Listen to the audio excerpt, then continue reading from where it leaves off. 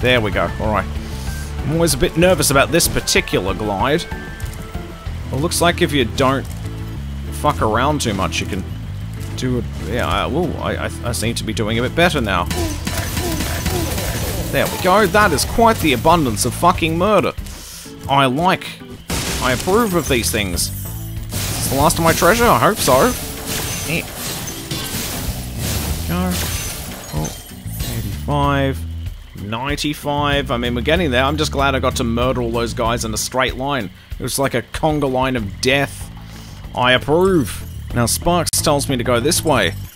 Um, why this way?